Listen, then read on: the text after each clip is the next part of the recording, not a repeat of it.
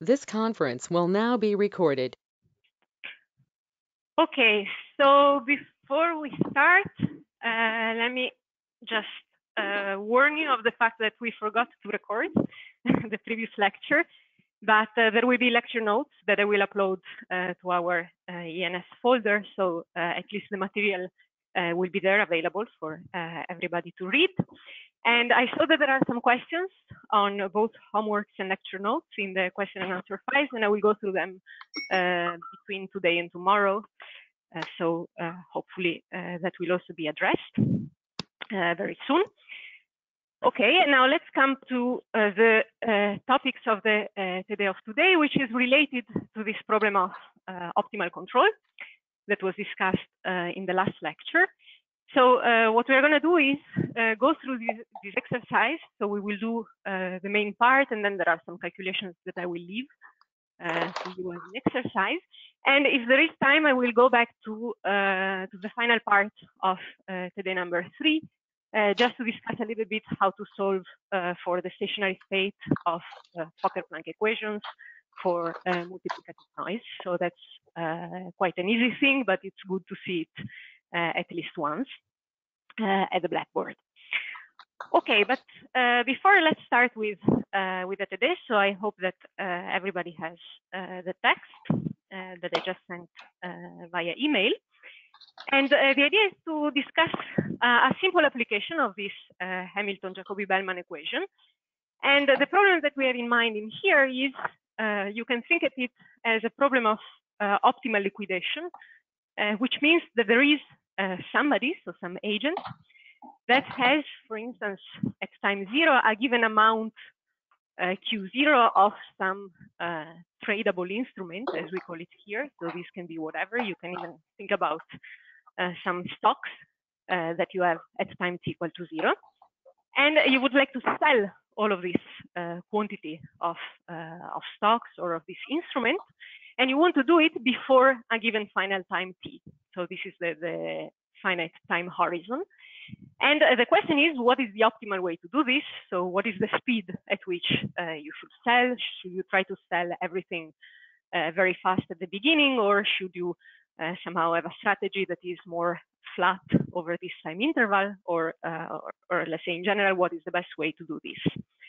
And we will try to uh, discuss two frameworks. So the first part is about, uh, let's say, one single agent that uh, has to face this uh, optimization problem. And the second part is uh, about, uh, so in the second part, we will introduce some interactions that we will treat at the mean field level. So the idea is that you have one agent that wants to sell its quantity of its amount of this of these stocks, let's say, uh, but he or she is not alone, and there are many others with whom uh, there is some interaction. Okay, so let's start with uh, with part one, and let me summarize a little bit uh, what are the uh, quantities. ah, let me first let me um, tell you that the way we will treat this problem with interaction falls within the framework of the so-called mean field games. And there is some reference uh, in the text of the TD that you may look at if you're interested into this uh, subject of mean field games. Okay, but first, uh, let's start with a, with a single agent. And the uh, idea of the model is as follows. So there are some random variables which describe the state of your systems that I will encode into a vector y, which depends on time. And these random variables are uh, q, uh, depending on time, are some x of t and some s of t. So this q is uh, the amount of uh, instrument that you want to sell uh, in this finite time uh, interval. So I will call it the inventory at time t.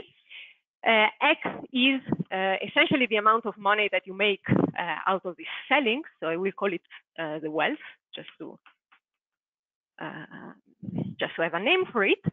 Uh, and S is a variable which does not describe directly the state of the agent, but if you want to describe uh, the state of uh, of the market in some sense. So this is the price associated to uh, to the object uh, that the agent wants to sell.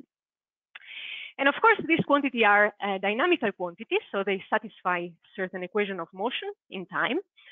So in particular, Q of t will vary uh, over time because, of course, it will decrease whenever you are selling uh, this quantity, and it will decrease proportionally to some uh, velocity that I call Vt.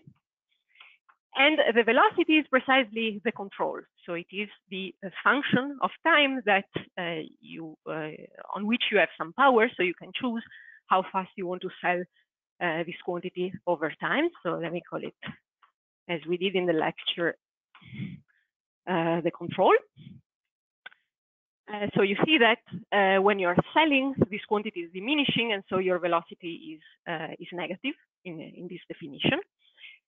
Then how much money uh, do you make uh, in an interval dt by selling this quantity? Well, this is this has to be proportional to uh, minus vt times uh, what what you would put in here a priori would be somehow the price of uh, of the quantity that you are selling uh, that that is given by s of t but then the idea is that uh, when you do this type of uh, financial operation, let's say there is also a cost which is associated to the fact that you are selling or uh, or buying.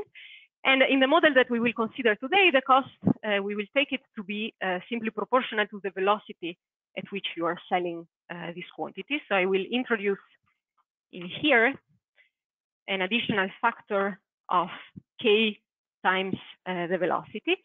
And this is telling you that uh, essentially when you are selling, so this velocity is negative, the, the effective price at which uh, you sell your, your good is, uh, is, is, let's say, the price of the good itself minus the cost associated to the operation, which is, uh, which is given by this KVT. And then you have an equation for the third uh, dynamical variable in here, which is the price. And, uh, and this will be given by some quantity that I call mu of t. And uh, this function mu is, uh, is where the interaction will enter when we will discuss it uh, in, in part two. But for the moment, uh, let me write it generically like this. Plus, what we can do is to add uh, some noise, so some volatility that tells you that there are fluctuations uh, in the price that are due to uh, to different reasons and that you encode uh, generically into uh, into some noise term. So just to give you some terminology, this quantity in here that decreases the price is often called in this literature market price. And uh, this quantity here, which controls how uh, the price is varying with respect to the to, to let's say uh, some external input which may contain uh, also the state of, uh, of other agents is what is usually called, so let me try to put an arrow like this, is called market impact. Um, can you put up the blackboard a little bit because it's out of the. Yes, sure. This way. Perfect. Okay. Thanks. Okay, that's good. Okay, so this is what we are going to discuss in part one. Now, let me just uh, mention what shall one do uh, to generalize this to the case of uh, many agents. So I will be a little bit sloppy in here, but let's say that the idea is that if you have many agents, you can label them with some index uh, A. So you will have one of these state vectors. So y of t will go to some y of t labeled by uh, A, and A identifies uh, each of your agents. So let me assume that they go from one to n. And uh, the uh, interaction between them, as I said, will enter through this uh, quantity mu uh, in here. And what we are going to consider in the following is the case in, the, in which the mu, let's say, that enters into the equations for the agent A is the average of uh, the velocities of all of the other agents uh, in the in, in, the market, let's say. So I will think about something like this. This will be one some one over n, sum overall other agents of their velocity. And uh, what we will do uh, we will do in part two is to go to some sort of continuous limit and replace, let's say, this average with, uh, with a continuous average, but I will comment uh, more about this uh, in the following. Okay, so to conclude uh, the introduction uh, to the model, what I have to do is to specify the uh, objective function or the cost function, which is actually a functional which depends on all of the trajectory over time of this vector y. So let me call it g of t0 and y0. So t0 and y0 are the initial time and the initial condition. And this function is given by the sum of two terms. So there is a first term, which is the gain, that is actually just a function of, of the final state, uh, the state at time uh, capital T uh, of your system that I will uh, write in a minute. And then you have some, so this is the gain that you want to maximize.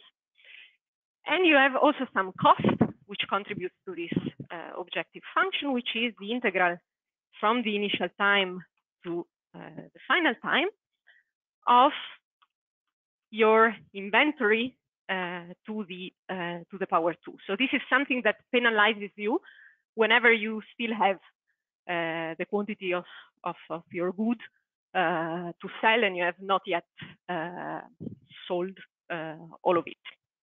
So this will be a cost associated to the fact that you have uh, still a finite inventory uh, at any time uh, s here. And uh, how do we write the uh, gain? Well, so again, this is an example uh, of, of a model that we take here. And in here, we choose the gain to be to be what? Well, you have the final wealth uh, that you get by selling your quantity at the final time uh, capital T that of course you want to maximize. And then if you are left with uh, some amount of this quantity that you have not yet sold, then uh, there is some value associated to it that in principle would be the product, so the amount of this quantity times the price at that particular uh, final time. But again, you may have, uh, or it is realistic to assume that the price is not really, so a little bit similarly to what you have in here, uh, the final price is somehow diminished by the fact that uh, maybe you want to liquidate at finite time t, so you really want to sell whatever you're left with uh, at the final time. And when you want to sell it so fast at the end, there might be a, a penalty, so let's say a cost, uh, an execution price, this is how it is called, associated to this uh, selling at the final time, which again diminishes the, the effective price. Uh, at the time, uh, capital T. Okay, so what we are going to do is to try to look at this uh, example and derive some Hamilton-Jacobi-Bellman equation for this particular model. And before, so let me check that you see. Okay. And so let's start with the first part. And before, let me just make a comment. So this is part one.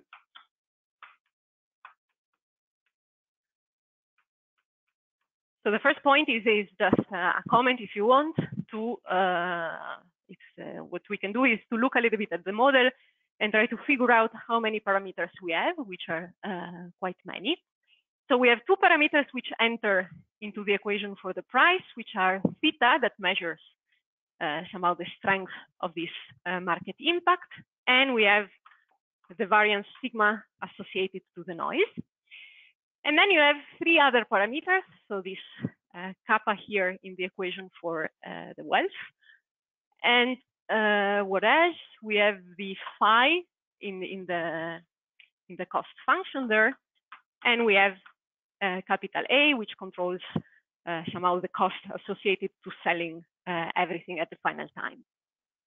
And uh, what I just want to point out, so we will go back to uh, analyzing a little bit the effect of these parameters uh, once we have the solution to the problem, but I just want to uh, pause a moment to, to figure out what should be the effect of all of these parameters, in particular of the last three.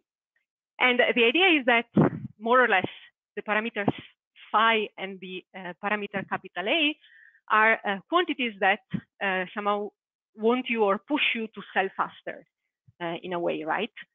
because phi is associated to the uh, cost that you pay at any time by having a finite uh, inventory. So uh, it's due to the fact that you have not sold uh, everything at that time, and so there is a cost uh, associated to it. So when this phi is large, you expect that you want to choose a velocity that is uh, somehow fast enough so that you sell uh, all of this uh, quantity fast enough. And more or less the same role is played by this uh, capital A in here.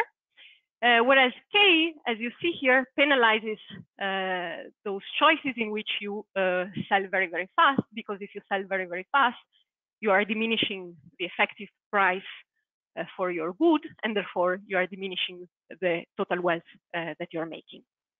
So this is just to point out that phi A and K are uh, a little bit in competition. So this would want you to sell fast. And this would want you to sell not so fast, let's say. So the problem is not uh, totally trivial. Okay, so uh, having said this, what we can do now is to uh, try to derive a, Hamilton-Jacobi-Bellman equation uh, along the same lines, okay, uh, of uh, lecture four. So now, but why is it cut, my video? Okay. Okay, so let's try to derive this Hamilton-Jacobi-Bellman equation. So to do this, I will introduce, uh, let's say, just for notation, let me call small y uh, a particular value for the vector for the random variable uh, capital Y there. So this will be the vector given by uh, small q, small x, and small s. So uh, these are my state variables. And let me introduce, as uh, it was done in lecture four, uh, the so-called cost to go. Okay, which is a function v of time and of a particular configuration of, uh, of my system at time t. And in general, so what we are going to do in this first part, as I said, is to work at fixed uh, value of this function m of, m of t, mu of t. So we are not assuming that this comes from interaction, but just that somebody gives you uh, this function and then you try to solve uh, the optimization problem for this uh, dynamical system. So this is why uh, there will always be a dependence on this fixed function mu of t in whatever I'm going to do in this first part. And what is the definition of this cost to go? Well, this is the sup over the velocity t at any later time of the expectation value of my uh, cost function up there from, uh, so as you see in the way that I wrote, so this is an expectation value over the noise, is an average over the noise. And I wrote uh, the cost function. So in principle, as I say, uh, this is a function of the whole, uh, let's say, trajectory for your vector y at any time but I'm indicating in here only the dependence on the initial condition. So this is the cost that you get starting at time t0 from a given configuration, uh, let's say y0. And uh, therefore, what I have in here is, uh, is the following. So I assume uh, that I have some time t uh, that is larger than zero, but smaller than uh, capital T. And I assume that I know what is the optimal strategy to follow from that time t uh, onwards, and this defines uh, precisely my uh, my cost to go. So just to repeat a little bit the sketch of the lecture, the idea is as follows. So you have time, you have your final time, capital T, and then you assume that you know how to solve the problem at any time. So this is zero at any time late, uh, larger than this uh, t here. So in this region, you assume that you know what is the optimal strategy to follow. So what is the cost to go? And you know this for any possible initial value at time uh, small t. So in, in the lecture, of course, the problem was formulated in terms of a one-dimensional uh, function. Here we have a vector, so let me draw it like this. Uh, So of course, uh, this is higher dimensional, but the idea is that uh, whatever is the particular value of the vector y at time t, you know what you have to do uh, from time t onwards. So you know what is the velocity that optimizes, uh, that gives you the optimal strategy uh, up to the final time. And the question is, once I know this uh, for any particular initial point at time t, can I derive an equation that tells me what I should do in uh, the little time interval, which is between t minus dt and, uh, and time t. And the idea is that to choose uh, the optimal strategy in this little time interval, I have to uh, usually, uh, if you remember from the lecture, I always have to compensate uh, between two things. So first of all, I told you that we know how to solve the problem for larger times. So we know the value of the cost to go for any particular choice of y. And therefore, for instance, we know what is the best point where to start from that would optimize uh, our gain uh, at the final time t.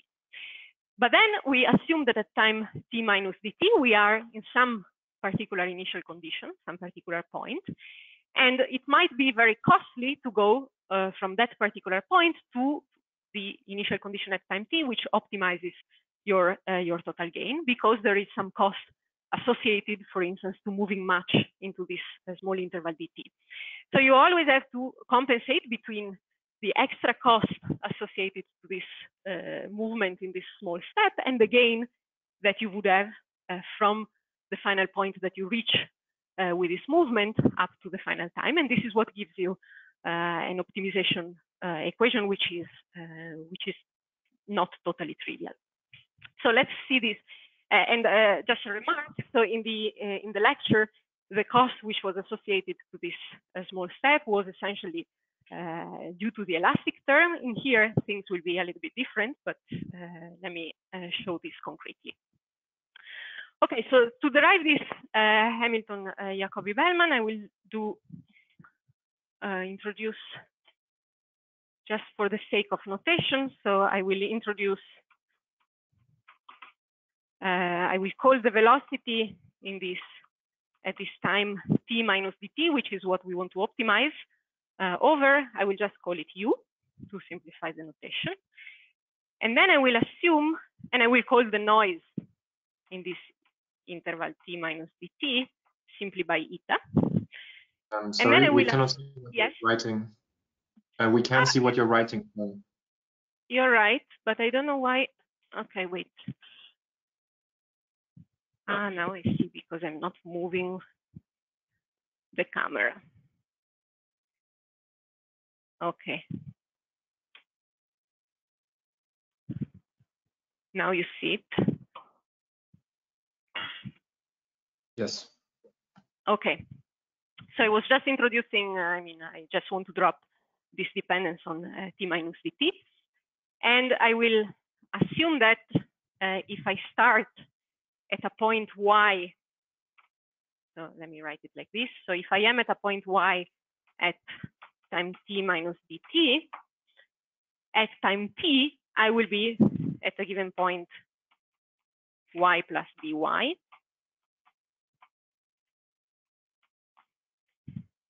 And this dy will depend on what? Well, it will depend both on the velocities that I choose in this small interval dt, and, uh, and it will also depend on the noise uh, in this small interval dt. And so I will try to solve an optimization problem for this velocity in the interval dt, averaging over the noise in this small interval dt. So I'm just repeating what was uh, done in the lecture. And so to derive this uh, equation, what do we have to do? So does it fit in here? So what I can do is to uh, try to write an expression for the cost to go at the previous time t minus dt. So v at t minus dt, assuming that I am at the point y at t minus dt. So y is a variable, so I will use it. Uh, uh, here I use it uh, for time t, but now let me assume that uh, y identifies my position at the previous time. And let me drop the dependence on mu t in the following. So what would be uh, this equal to? Well, exactly as uh, we had in the lecture. So as I said, I want to optimize over my velocity in the little interval, u, the uh, total cost. So the total cost will have two contributions. There is one contribution that comes from the extra cost associated to this uh, small step that I'm doing, and this is proportional to this integral in here.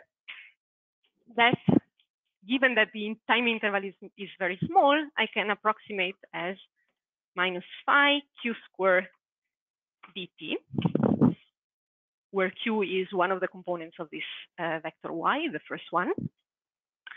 And then the remaining cost is encoded in, uh, in the function that I assume that I already know. So it is encoded in the cost to go from time t, except that I have to compute this cost to go at the point that I reach, starting from point y at the previous time and applying the given velocity u. So what this means is that in here I will have my function v at time t, but computed at y plus dy. And y plus dy is, is noisy, so it depends, as I said, both on this small u that I'm optimizing over, but it also depends on the noise which acts in the small interval. So what I have to do is to average uh, that uh, function there with respect to this uh, noise in the small time interval. Okay, and now exactly as we did in the lecture, the, the, the way to proceed is to uh, give an expansion, a Taylor expansion for this uh, function in here, and then average over the noise. So let me do it in here. What do you see? So we need this, which I think you still see. Okay.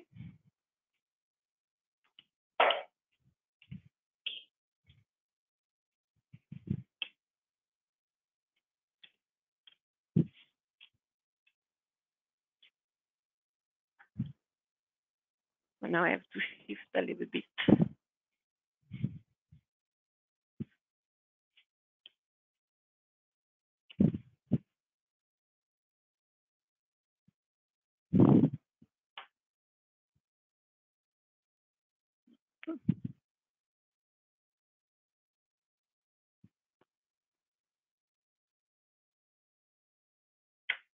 Okay. So let's try to expand, and we want to expand to linear order in dt. So this is v of y plus dy. Uh, and in order to uh, to do the expansion, we should remember what are the equations. So remember that y is the vector of all our three variables, which satisfy some equations, which I just erased, but uh, you have them written. So let me do this uh, Taylor expansion here. So uh, the first term will be just v of dy, of course. And then I have a term which is the partial derivative of my function v with respect to the first, uh, sorry, I forgot the dt. I hope that you see it. There is a small dt in here. Plus dv over dq. And here I would like to put q dot times dt, right? So the derivative of q over time times uh, the dt.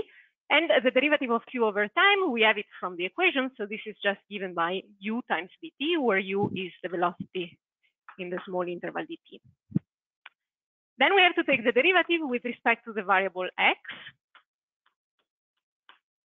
times uh, x dot, if you want, so the time derivative of x, and this was minus the velocity times the price plus ku. Okay. And then there is the derivative with respect to s, so dv over ds, and uh, the equation for s dot. So sorry, I keep forgetting the dt. There is always a dt. So the equation for s dot was what? So there was the uh, theta term, mu of t times dt. Let me put it at the end. So there was theta mu of t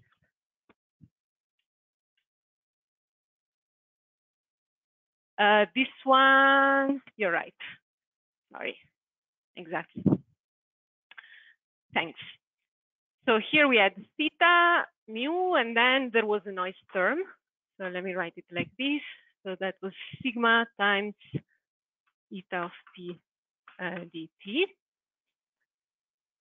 And so let me put the DP in here. Okay. I'm becoming messy, sorry. Um, and here we have, so remember, uh, this is white noise. I, I, didn't specify it, but I'm assuming that this is white noise. So remember what we discussed uh, last, last time, namely that this noise in the, in the limit of uh, correlation function, which goes to a delta function, is of the order of 1 over square root of dt. And therefore, the product eta of t times dt is of the order of square root of dt. And this tells us that if we want uh, all of the contributions which are of order dt, we also need to uh, take the term which comes from the square of this uh, factor in here. And this will come with the second derivative uh, of v with respect to the variable s, right?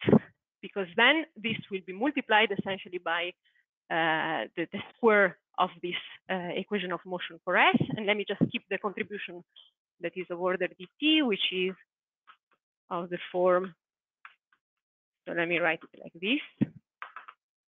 Eta square times dt square plus higher order terms that we will neglect uh, when deriving the, uh, when going to the continuous limit. So now what I do is I take the average of this expression with respect to the noise eta. Okay, both of the left and the right hand side. So this was what I called eta before. It's the noise which acts in the little time intervals.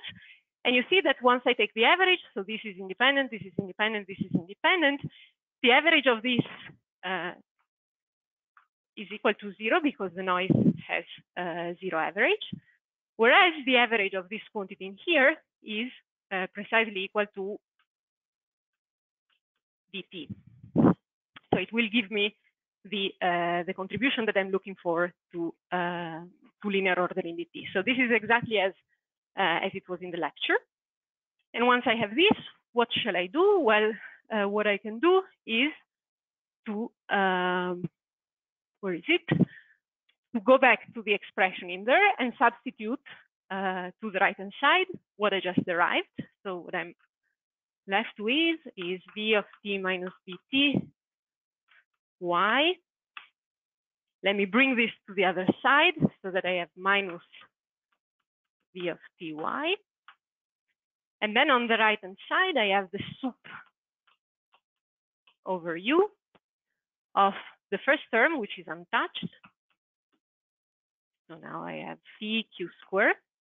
And the dt, I will uh, collect it uh, at the end. Actually, let me divide everything by dt directly. So these terms come from uh, the cost uh, in the little interval dt, and then I have to plug my expansion. So I have dv over dq times u minus dv over dx u s plus ku. Okay, and then I add dv over ds theta mu of t plus sigma square over 2 d square of v, so the contribution of the noise. And that's it. Okay. And of course, if, you, if I now take the limit of uh, dt going to, uh, to zero, what I get in the left-hand side is uh, nothing but minus the time derivative of my cost to go with respect to t. Okay, so this is our uh, form for today of the uh, Hamilton Jacobi Bellman equation, which is an equation where your time derivative has uh, the minus sign uh, in front, as you remember from the lecture, and where, so this is no longer as we are used to, we are used to initial value problems where we specify the value of the function at time zero, and then we want to solve uh, forward in times. Whereas what we have in here is more a boundary value problem where we specify the value of the function at time capital T, and then we want to solve backward in time and get the solution at time zero. So what is the boundary uh, value? What is the value of the function at capital T? Well, this we know it from uh, the expression for the uh, for the function g that unfortunately I erased. But if you remember, the function g had a cost which was associated precisely to the value of this function at the final time, plus, uh, sorry, as a gain, which is associated to that, plus a cost, and the cost is an integral which goes from uh, t up to capital T. So the integral vanishes when I compute it at, uh, at the lower edge equal to capital T. So this is just to say that the boundary value in here is just uh, given by x uh, plus q s minus aq which is the value of the function g uh, evaluated at the vector y. So this is the boundary condition.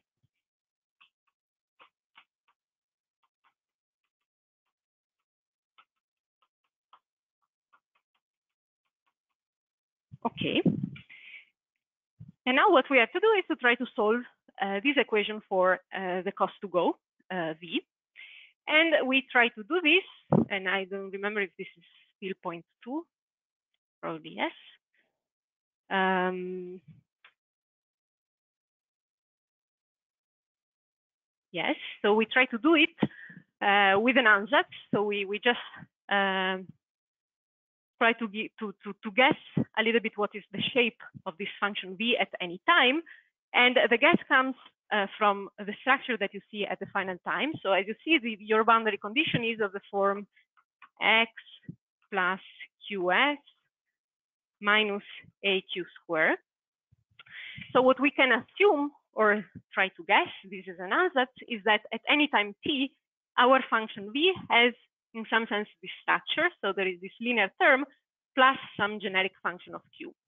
So we do the following ansatz, which as we see, we will see, we'll simplify the calculation. And now I hope that you see it. So we assume that our v of ty can be written as x plus qs plus some generic function of time and only of q that I call omega of dq. And uh, this ansatz is good because it allows us, as, as, I will show in a minute, to reformulate the problem as uh, more or less uh, a problem in terms of, uh, of Q. Okay, so let's see this, uh, how this works.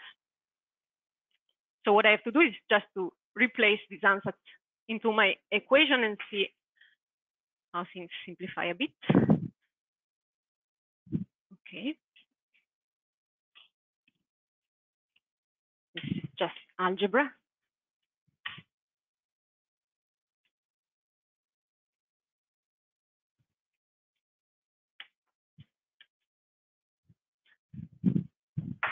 So on the left-hand side, I will just have minus the derivative of this omega function with respect to time, which is the only thing that depends on time. And on the right, well, I have terms which do not depend on the velocity u. So let me write them separately. So there is this phi, then there is uh, the theta term, dv over ds, theta u of t. And perhaps already in here, so you see if we make this ansatz, the only dependence on s is linear, so dv over ds gives me just a factor of q. So let me write it here. Okay. Plus, there should be another term up there, which does not depend on u, that is this second derivative.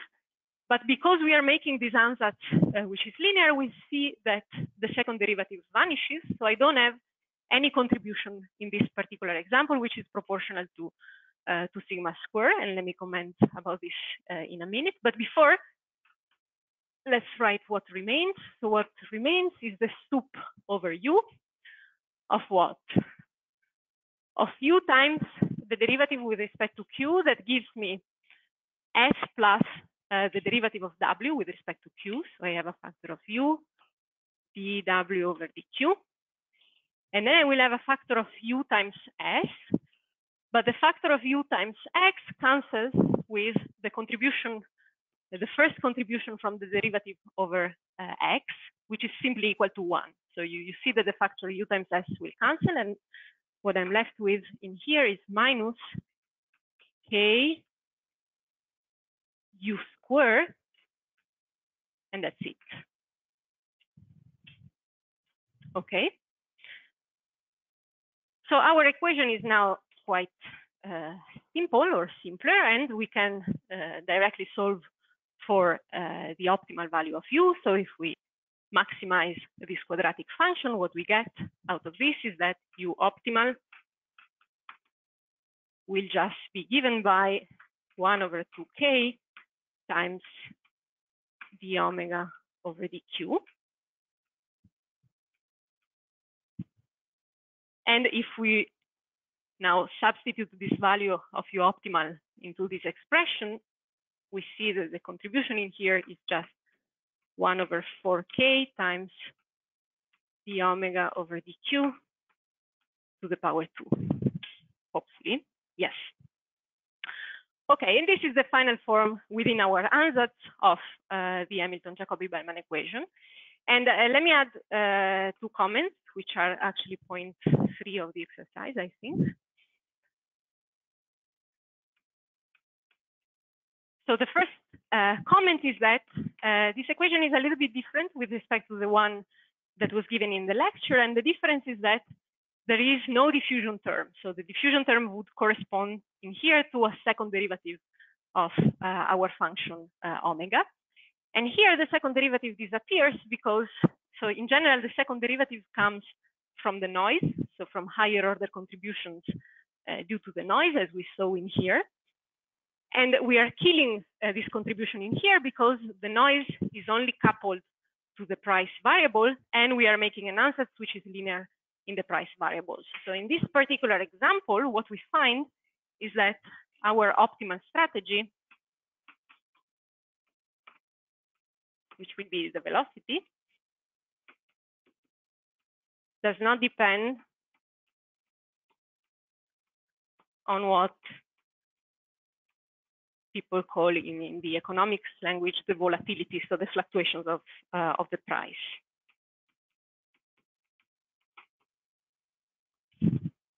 So at least one among the many parameters that we have simplifies uh, once we make uh, and goes away once uh, we do these ansatz.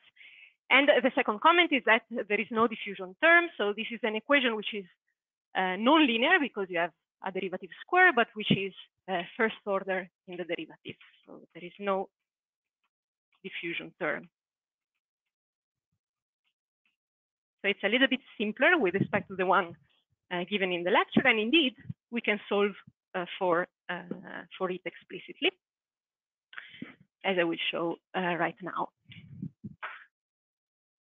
Okay.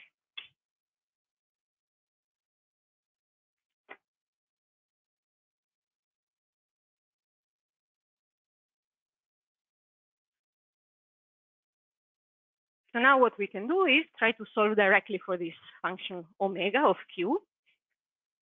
And this is a calculation that can be done explicitly. I will not do all of the steps, but I will just highlight some things which are perhaps more interesting. And so the first thing that helps you when you try to solve it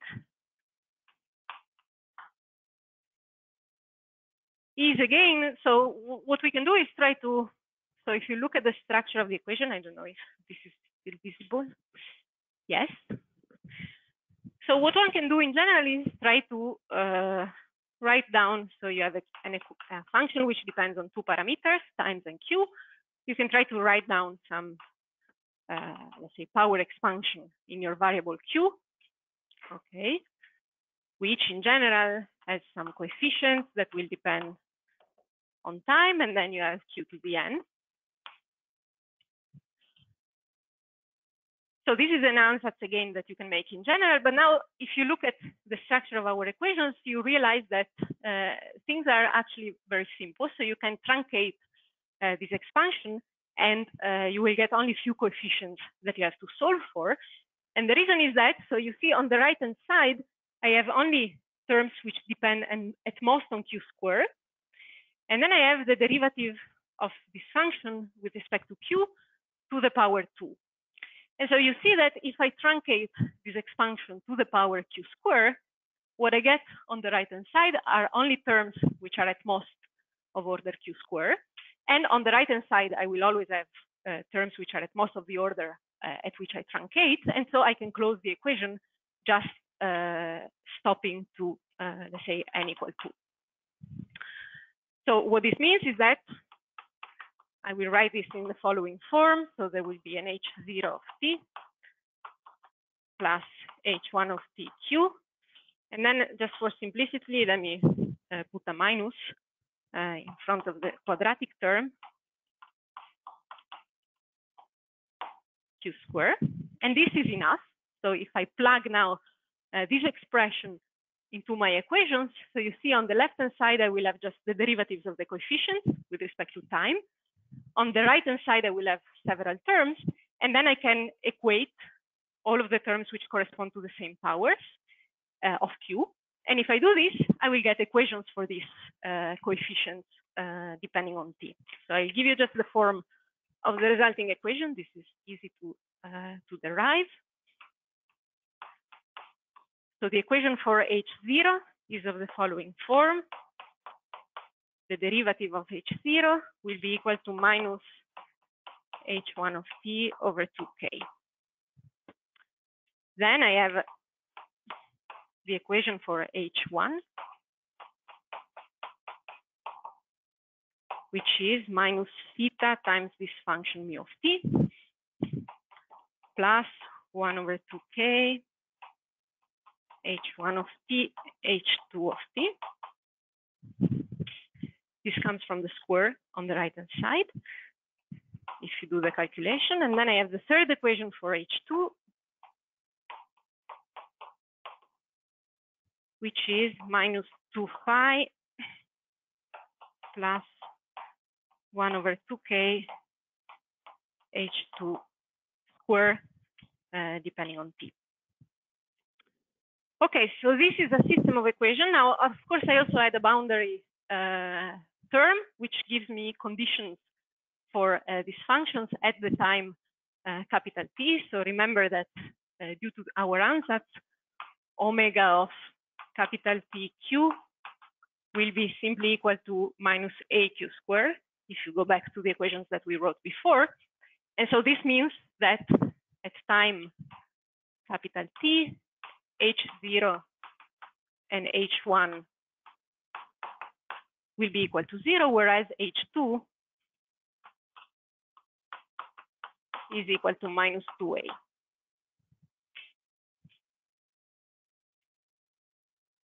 No, plus 2A because I have a minus here. Okay, and now given this, what one has to do is to solve uh, somehow this system of equations for the coefficients. So what I want to do uh, in the next uh, half an hour maybe are just two things.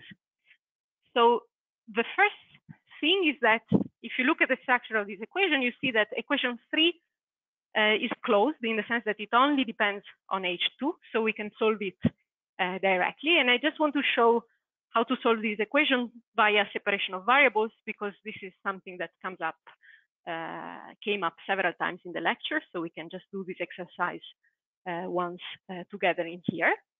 And then what you would have to do is to solve for H0 and H1. And these are two coupled equations where the variables appear uh, in both of them. And most importantly, you have now this function mu of t. So, so far we said, okay, let's assume that mu of t is a fixed function and we try to look uh, for a solution at fixed value of mu of t. But now you see that to solve this, uh, this system of equations, it would be nice to specify uh, what is this function mu of t, and this uh, brings us to this idea of uh, interacting systems and mean field games. So I will give uh, the idea for that, and then perhaps leave most of the calculations to to you as an exercise.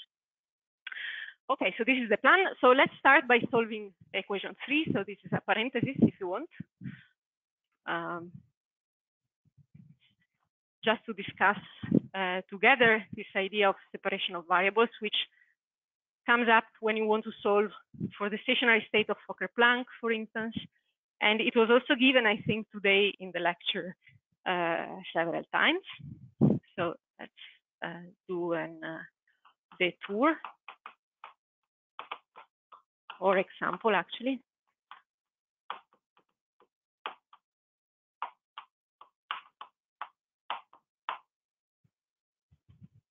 Okay, you still see, it, but better to do this. Okay, so the idea is as follows. We have a differential equation on the left-hand side. You have dH2 over dt. So let's rewrite it in differential form. So I can write that dH2 is equal to what I have on the right-hand side. So minus 2 phi plus h2 square over 2k times dt. And actually, let me bring out a factor of 2k. And so here I have minus 4k phi. Okay. And now you see that I have here a product of something which depends only on H2 times uh, the differential in dt. So what I can do is to bring this product to the other side and get uh, to the other side so that I get a left-hand side which depends only on H2.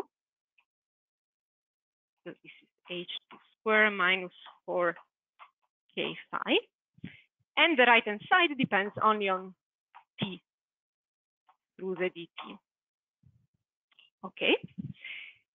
And once I have this, what can I do? Well, I can integrate both sides. So I integrate the right-hand side with respect to t from a given time t0 up to a time, uh, well, t in general. And the left-hand side, I integrate it uh, with respect to the corresponding value or between the corresponding value of the function h2. So from h2 of t0 to h2 of t. So I hope you see it. Maybe it's small. Okay. Now, what is the right-hand side? Well, uh, okay, let me first do the left-hand side. So the left-hand side is an integral that I know how to do. So it's an arcotangent hyperbolic. This you can check. Uh, okay, we'll need the equation again, but never mind.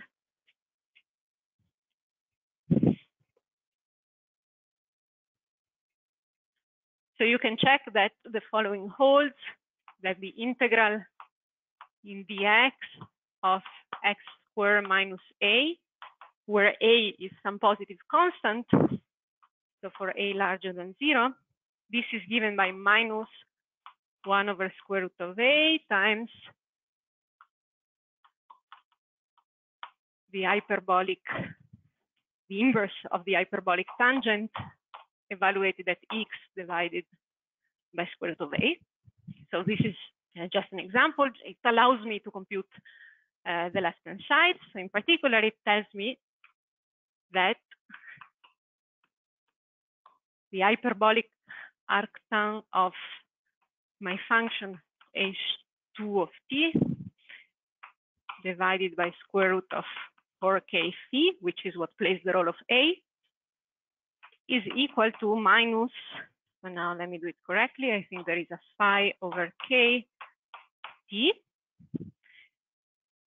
plus e. So c is a constant which incorporates, uh, if you want, p0, and also what you would get. So what you would get from the left-hand side is the value of the integrand, uh, sorry, of the integral at h2 minus the value at h2 of t0, which is a constant. So I can absorb everything into this constant t. And what I get out of this equation is that by inverting the hyperbolic arctan, I will get that this is uh, simply given by square root of 4k phi so I go a little bit fast, but that's just because it's it's not so relevant. Just to give you an idea. Pi over kt plus my constant c uh, that is now Uh, no, it's the same constant. Okay. And once I have this, how do I fix C? Well, remember that we had an information about the boundary value of this function. So we know that H2 at time capital T has to be equal to 2 times A. And therefore, what I have to do is to compute this quantity at capital time T and then solve for C. Uh, and I will get an expression for C, which depends on, uh, on capital A. Okay, so in particular, you get that C is square root of C over K times capital T plus arctanache A over square root of K phi. Okay, so this you can check. Afterwards, it is just uh, algebra. And this gives you the solution for the coefficient H2. And somehow the only thing that I wanted to uh, to uh, to do is to discuss an example for this uh, separation of variables, which, as I said, uh, comes up several times uh, in this type of problems. Okay, now we have H2, and so we have solved the equation three here. So now let's go to uh, this problem of trying to solve equation one and equation two for one particular choice of mu of t, which comes from the interactions and this is part two of the exercise. It's a square, yes. So the question, the remark is that there is a square in here. Thanks, that I forgot. People see it? I hope so. Okay. Now let's go to part two.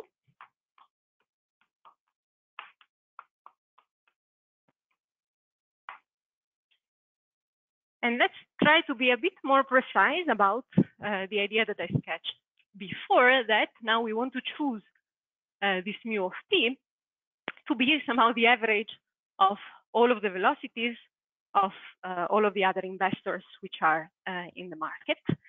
And we want to do it uh, with a reasoning that is very close to mean field. So this is, let me summarize the point of uh, of 0.5 of the exercise.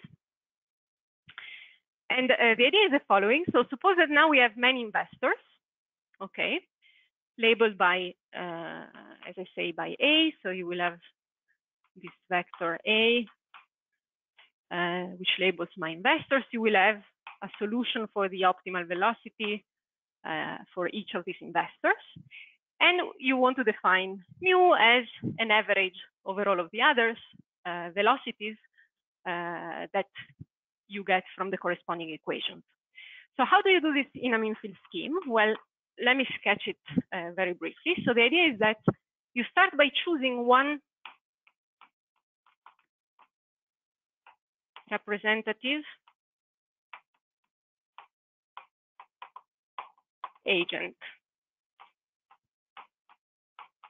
Let me label her by A uh, one specific value of A. So this is a little bit like when you do Ising mean field, you choose one site that you assume to be representative of all of the sites.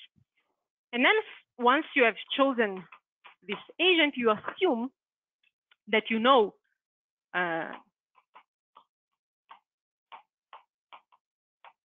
that you know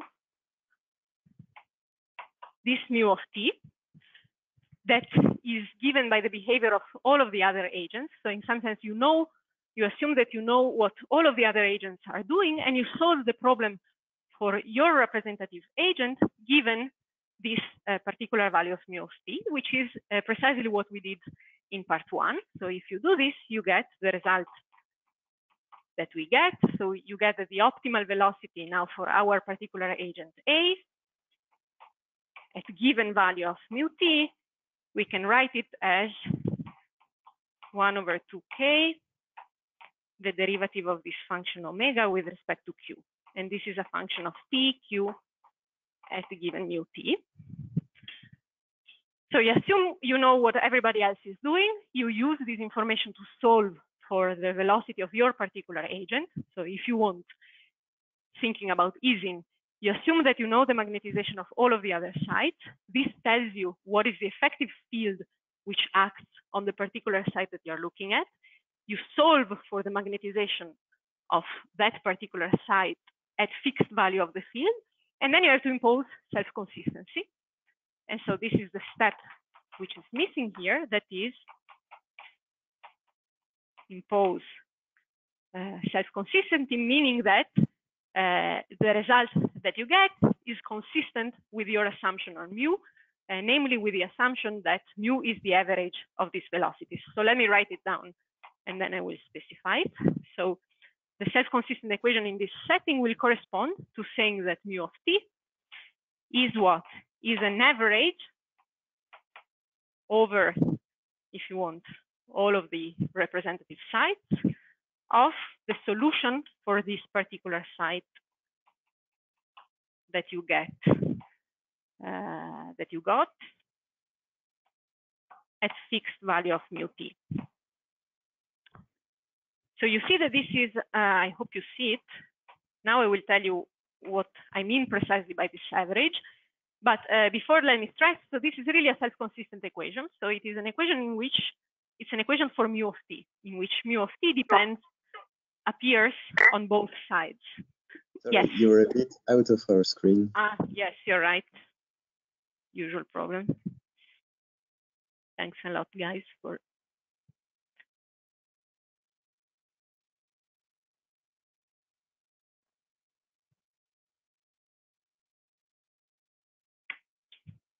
Okay.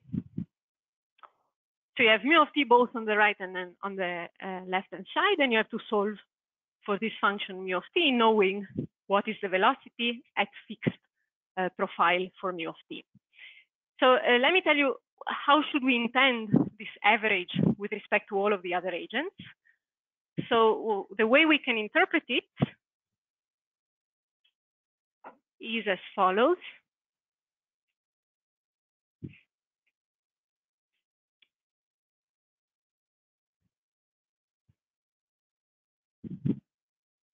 Uh, now I can write here. Yes.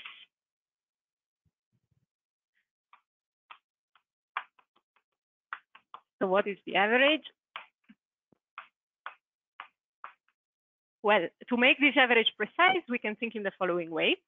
So as I said, we have many, many agents, and all of those have a particular initial value of their uh, inventory,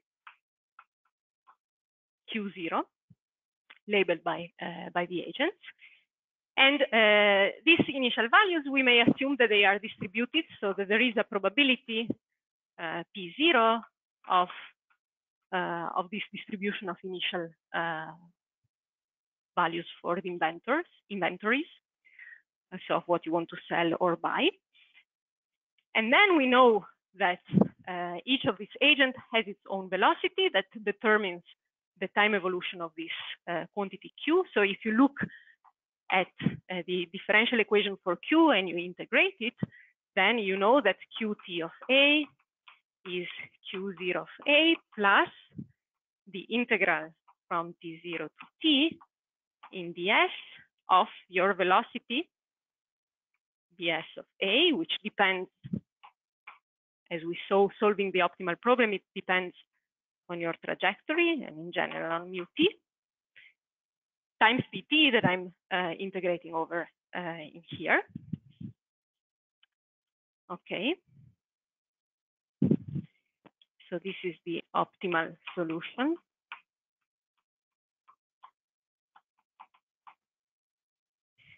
And then you see that if I have a distribution for the initial value, the initial value uh, of, of my inventory will determine what is uh, the optimal solution together with all the other parameters. And this equation will tell me that I will have also a distribution at any time t. So if this is a random variable, q at any time will be itself a random variable with a given distribution, pt of qt.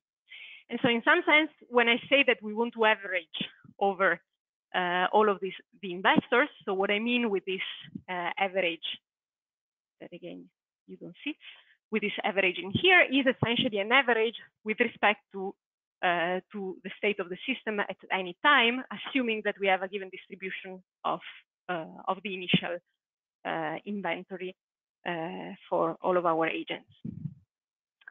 Okay, so this is how we should interpret the self-consistent equation. And now let's see, just very briefly, um, how to finish and solve, or at least let me sketch uh, how the solution uh, can be obtained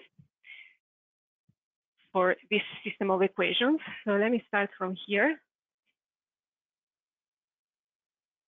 So to, to go on, uh, we now need essentially another equation for this uh, mu of t to solve uh, our system of equations.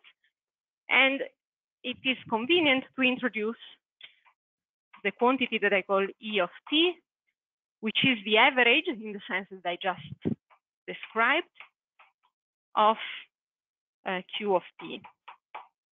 So it's just the average with respect to this uh, distribution.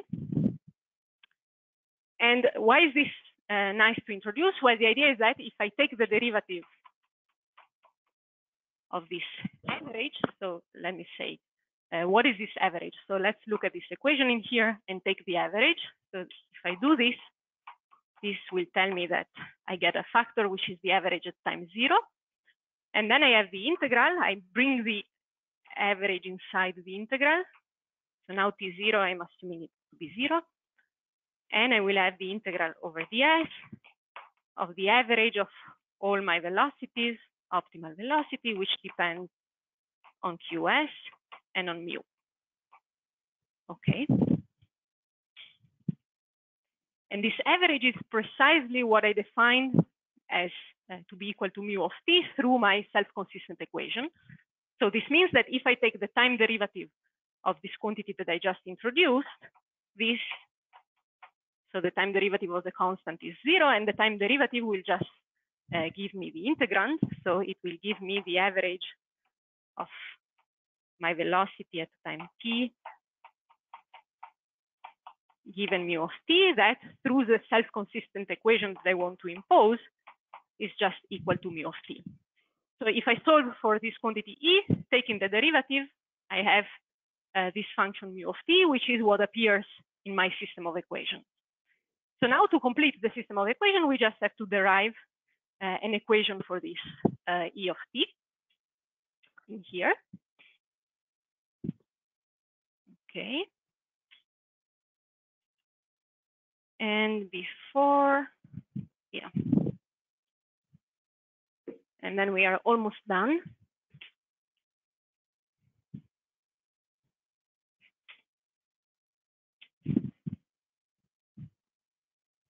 Okay. So once I am here, let me also, or let's say once I am here, let me look at this equation that I just wrote and remember that I know the solution for the optimal uh, velocity at fixed uh, value of mu of t.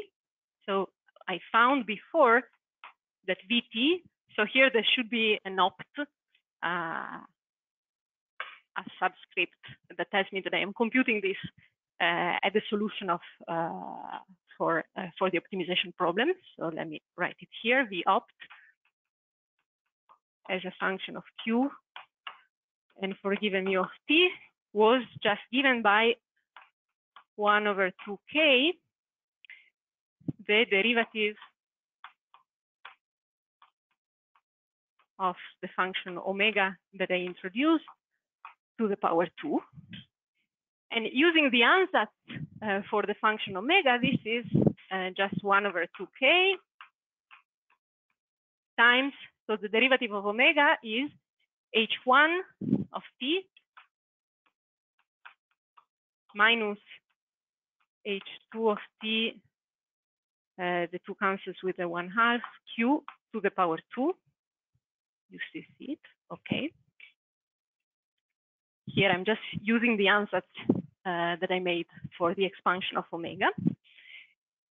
And therefore, if I now plug this expression into this equation for E prime, I get a fourth equation that I call equation 4, which tells me that E prime of T is also equal to the expectation value of this quantity here with respect to Q. So now I'm, uh, I'm let me write small q. So this is a solution for any possible value of small q. Now, if I compute the optimal trajectory at a fixed the optimal velocity at a fixed trajectory for my uh, random variable q, and I take the expectation value, what I will get, so this is just from here, I will get that this is 1 over 2k. There is no square here, right? Sorry. Okay. h1 of t minus h2 of t times the expectation value of q, which is nothing but e of t itself.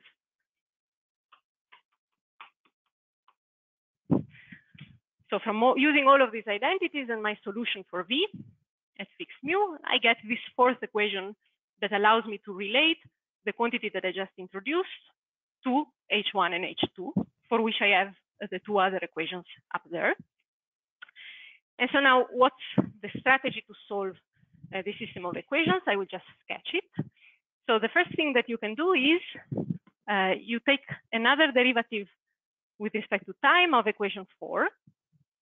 So now I want to close to get a closed equation for E of t. So what I can do is I take the second derivative of uh, my equation four with respect to time.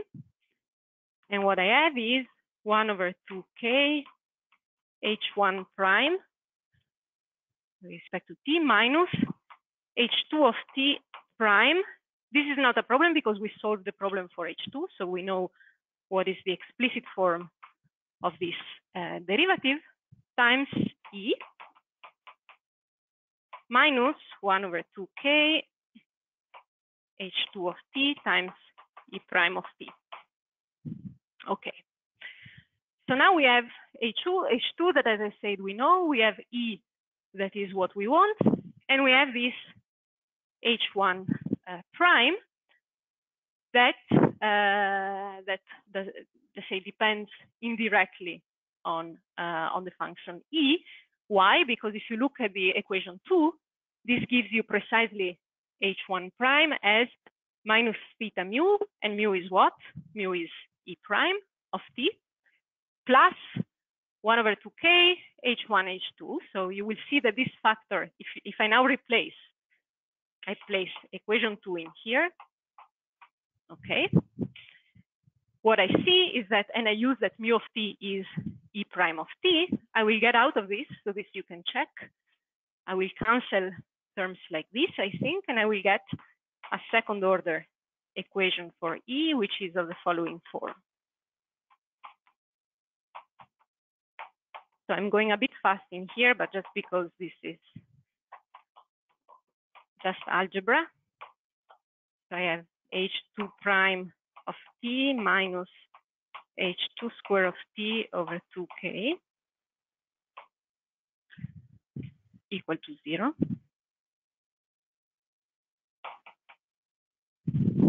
Okay, so this is what you should get. And the quantity in parentheses, you can further simplify it by using equation three. So you know that this will be equal to minus uh, 2 phi. Okay. So this quantity in parentheses, well, okay, you see it. The quantity in parentheses here is minus 2 phi. So now you have a simple uh, second order differential equation for E and you can solve it. So you know that when you have equations of this form, the solution is always given by linear combinations of exponentials. So again, I will just give you the general form and then you can fill in the details. So the equation, as we said, is 2k second derivative of t plus theta e prime of t. And then we have minus 2 phi e of t equal to 0. And if you do all of the calculation, you will find that you can write the solution. So y will be an exponential? Well, okay, because this is a linear equation in the derivatives. So if you make an ansatz which is of the exponential form e to the alpha t, you will uh, be able to rewrite this as an equation for the coefficient alpha. And by solving these equations, you find that you can write it as uh, in the following form.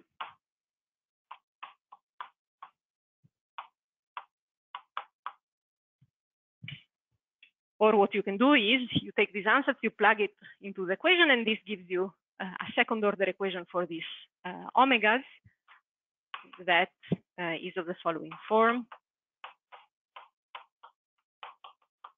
So will, which will depend on the parameters you see in this equation, so phi, k, and uh, theta. And if you do it, you will find this dependence in here.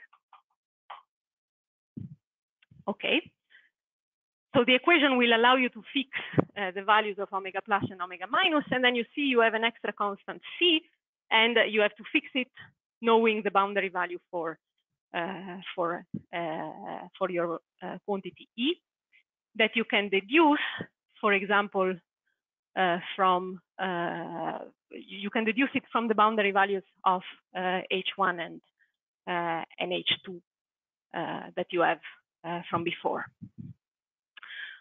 Okay, so uh, I don't want to, to uh, now do all of the details uh, of the solution of the system of equations because we also do not have time. But what is the idea? So the idea is that through this game of introducing E of t and solving for E of t, uh, you now have everything uh, that you need to go back to uh, what I called before equation one, two, and three. So equation three we solved, equation one, or if you want, just look at it in this form here. So from here, you know that if you know H2 and you know E of t and its derivative, then you can solve for H1. And if you know H1, you can solve for uh, the equation of for H0, which was just that the derivative of H0 is minus H1 square over 2K. And so you have solved uh, all of your equations. And what you can do, and this is a little bit an exercise for you, is to try to write them down, uh, this equation, and try to plot them as a function of the various parameters of the problems that uh, that we have. And uh, of course, I'm not going to do it uh, at the Blackboard, but I just want to make perhaps one final comment that is related to part three. So part three are just questions uh, about the dependence on the parameters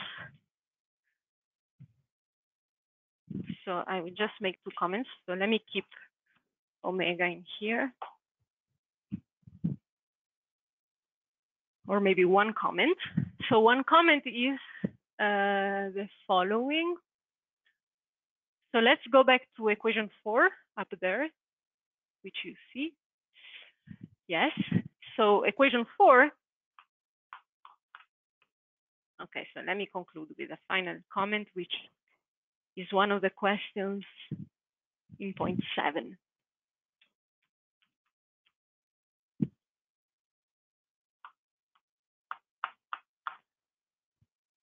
Okay.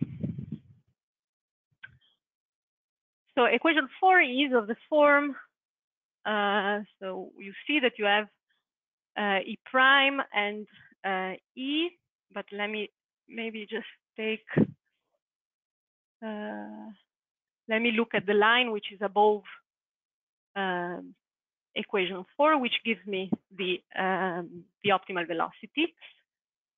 So uh, the idea is the following. So I can write that the optimal velocity, which is e prime of t, because of the self-consistent equation, is given uh, by what? So it is in principle given no, sorry, this I can write in the following way.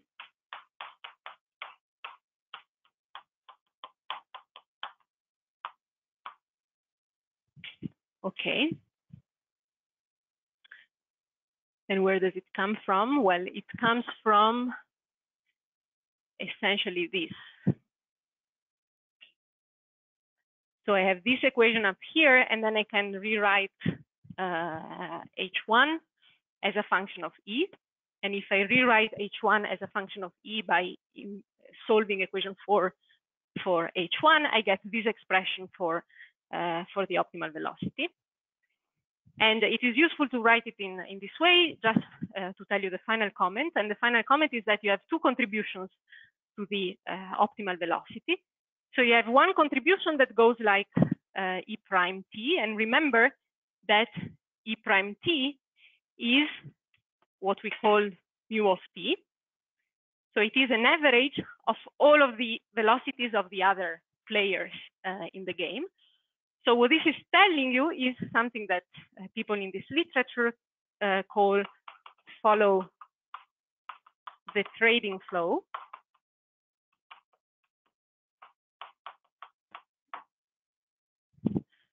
So this is a term that is basically telling you that if everybody is selling uh, very fast, each of the other agents will have a velocity that is large and negative.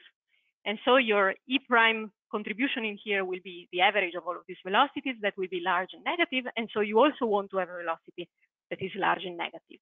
So you want to match with what uh, all of the other people are doing uh, on average. And this is what uh, people in the literature call uh, indeed following the flow. With an extra uh, contribution though, which comes from uh, from this difference in here. And this difference in here, it tells you, so typically you can show that this quantity is positive.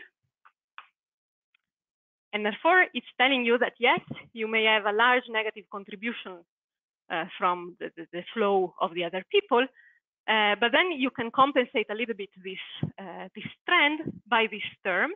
And this term is proportional to, uh, let's say, Q, so the amount of uh, inventory that you still have at a given time t. Uh, and E of t is what? Is the average of this, uh, of the inventory of all of the other traders. So what this is telling you is that if you have an amount of inventory that is smaller than the average, so you have already so sold more than what the average uh, has sold, then you get a contribution which is positive, which compensates a little bit uh, the negative contribution of the velocities of all of the others. So you somehow have to adjust to uh, what the average is doing, and this is the essence of mean field, meaning that if everybody is selling fast, you want to sell as they are to satisfy also the self-consistent equation, and at the same time, you want that your average inventory matches somehow the average for all the others. So if at a time you have an inventory which is smaller, you slow down a little bit your selling so as to compensate and uh, somehow uh, be consistent with uh, with what the system is doing on average. So this is uh, slow down if Q is smaller than uh, than the average uh, at the given time t. Okay, so that's basically uh, what what I wanted to say. And uh, the other comments that you find in section three are again about analyzing a little bit uh, the structure of the solution that you uh, see. In particular, as you see, um, well, okay, you can go through it uh, by yourself. One observation that you can make is that in the behavior of E of t, uh, you see that the parameters enter in here, like theta, k, and phi, but the parameter a, which was uh, related to the cost uh, of liquidation at the final time doesn't enter in here. So this tells you that maybe you can uh, somehow, to this level, you can forget about that extra parameter and what you can really play with to get to different strategies are the three ones that appear in here. But this you can check by yourself. And okay, I think this is enough. And for the Fokker-Planck that's really very fast, but maybe we do it uh, next time. So there is the next day, the number five is, um, or, or there are two weeks uh, that I allocated for the same today, and that is just to have a little bit of pause to also catch up with what uh, was left behind. And I think that is next week and uh, and the following one uh, after the holidays. So this is to say that we will have time to uh, to discuss Fokker-Planck again. And for the moment, we can stop here, I think. So are there questions? Nope.